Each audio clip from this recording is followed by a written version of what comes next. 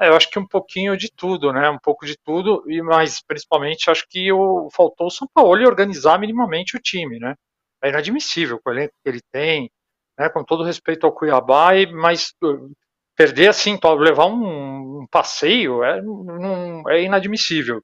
A gente precisa lembrar que o Cuiabá está se organizando. É o momento do campeonato em que muito, muita gente da turma de trás, do meio, foi se organizando. Né? Então a gente consegue ver isso no campo. E aí o Flamengo não tem justificativa. E, e eu acho que o São Paulo ele minimiza muito o problema quando ele fica na questão do, da motivação. Ah, precisa ter uma, a mesma motivação que tem nas Copas, precisa ter no Campeonato Brasileiro. Eu acho que pode, pode ter um pouco disso, provavelmente ter um pouco disso, mas é, é, o problema é muito maior, muito mais complexo. É de bola mesmo, de tática, de, de campo ali, de, do, do que a equipe está preparada para fazer e não consegue fazer, ou enfim, ou não está preparada. Eu acho que ele acaba minimizando o problema. É, é a entrevista dele, ele... né, Rodrigo? Ele. Desculpa, vai lá. Vai. Não, pode completar, por favor, Domi. Eu, eu vou na sequência. Não, porque ele falou isso, né? Faltou, faltou vontade e tal, mas quando o técnico fala que faltou vontade para o time, alguma coisa está errada nessa comunicação, não? É, assim, ele optou por uma armação, e aí respondendo a, a, as opções ali, ele optou por uma armação que não deu certo contra o Palmeiras, no primeiro tempo contra o Palmeiras, que é a armação com dois pontas, no caso Luiz Araújo e o Cebolinha. O time não era inteiro reserva, era meio reserva, ele não tinha meias, que é um problema do Flamengo. O Flamengo só tem o Everton e o Arrascaeta. O Everton teve um problema de saúde, o Arrascaeta estava poupado. O Flamengo vendeu o Matheus França agora, então não tem outro meia. Então, ele gosta dessa formação com dois pontos. Só que essa formação é pouco competitiva.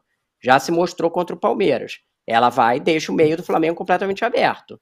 E foi o que aconteceu. O Cuiabá faz uma pressão forte ali no meio de campo, recupera um monte de bola e chuta um monte de bola no, no, no gol do Matheus Cunha, porque está tudo aberto. Não tem marcação nenhuma no meio de campo. O time não competiu. E aí você pode discutir, ah, tem um fator que estava pouco focado.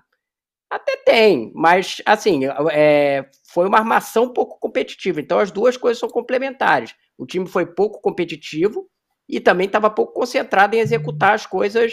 Você pegava o Luiz Araújo e o Cebolinha, que teriam que ocupar espaços quando o time não tivesse a bola, porque senão fica tudo aberto, né? Ficavam três ali marcando, sendo que um deles é o Gerson, que, que tem participado cada vez menos na, na composição ali de espaço. Então, é, é, acabou abrindo avenidas ali para o Cuiabá, que já poderia ter saído com 1 a 0 é, muito antes de, de ter feito o gol.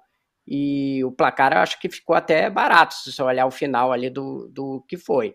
A justificativa dele da questão do foco é assim, é culpa dele também, né? É, é o fato dele não conseguir eh, transmitir esse foco para os jogadores e, a, e, arrumar um time que parece que ele está tentando forçar o Flamengo no que é a ideia dele de jogo, de dois pontas abertos, também isso aí tem um impacto grande no, no time que não, não tem rendido nesse formato. Não adianta botar jogadores que não estão competindo é, bem quando jogam assim desse jeito, com dois abertos, e depois reclamar que o time não foi competitivo, né? Então tem muito de erro do São Paulo. Não acho que é assim, olha, acabou o mundo, e mas não é a primeira vez. Tanto que eu acho que por isso o, o efeito do caso Pedro é pequeno. O Flamengo deu esse ver, mesmo tipo de é, atuação apática aí contra o Red Bull. E não tinha caso nenhum, ninguém tinha socado ninguém, enfim.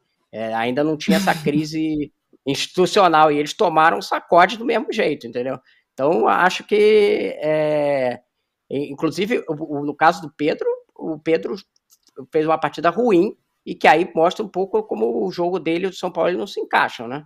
O, o time não criou nada para ele e na a chance que ele teve, ele entrou e tentou dar uma bola de calcanhar. Quer dizer, cara, você está em um time em crise. É, no, no, na última rodada teve um problema ali. Ele entra na cara do gol e tenta dar uma bala de calcanhar, também tem que ter um pouco de bom senso, né? Então, tá todo mundo errado nessa história aí, né?